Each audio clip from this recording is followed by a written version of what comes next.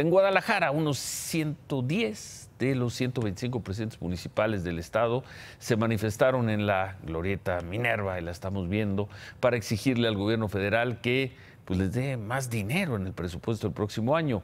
Dijeron que lo único que le piden al presidente López Obrador es un presupuesto digno y no dádivas, no migajas.